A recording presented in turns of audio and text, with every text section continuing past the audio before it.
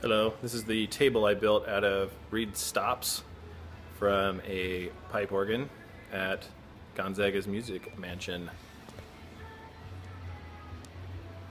There were many more of these. One is a flute, and one is a Vox Humana. That's what they look like on the inside. The pipes would have been mounted on top of a cage that was actually on top of this.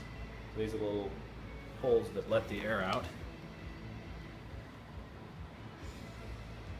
See the increase in size.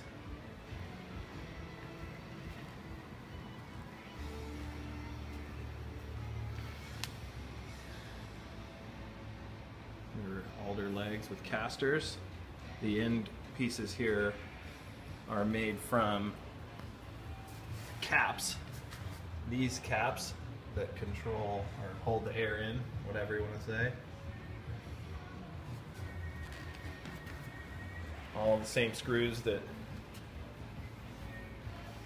held the organ together are reused inside.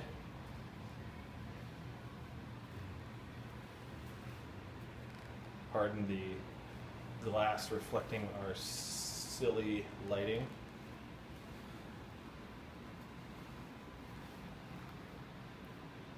Finished dimensions was four feet by nine feet.